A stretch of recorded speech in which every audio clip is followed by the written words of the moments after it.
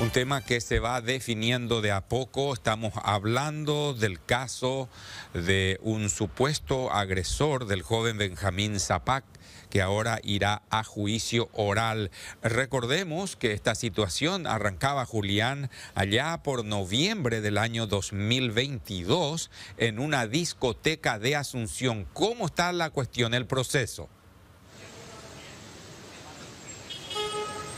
Recordando un poco don Oscar Benjamín Zapá, que fue víctima de una agresión el pasado 6 de noviembre del 2022 en el interior del baño de una conocida discoteca de la zona de Villamorra de la ciudad de Asunción. El mismo había quedado con graves lesiones en el rostro, tras lo cual él fue hospitalizado y fue sometido a una cirugía maxilofacial.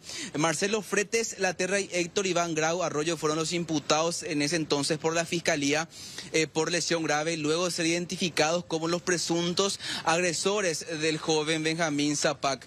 Luego de eso, eh, un tribunal revocó la prisión preventiva de uno de ellos, estamos hablando de Marcelo Frete La Torre, y dictó su arresto domiciliario. Esto se dio luego de que Benjamín Zapac eh, haya declarado ante la fiscalía señalando que el único que lo golpeó en ese entonces fue Héctor Iván Grau, procesado en la misma causa por lesión grave. Dentro de este contexto, finalmente ya cerrando el caso, la jueza Cintia Lovera elevó a juicio oral la causa contra Héctor Grau. En, dentro de esto, la magistrada Lovera admitió las acusaciones presentadas eh, por la fiscal María Alejandra y ratificada en juicio eh, por la agente Carla Rojas y resolvió que esta causa finalmente se discuta en un juicio oral y público.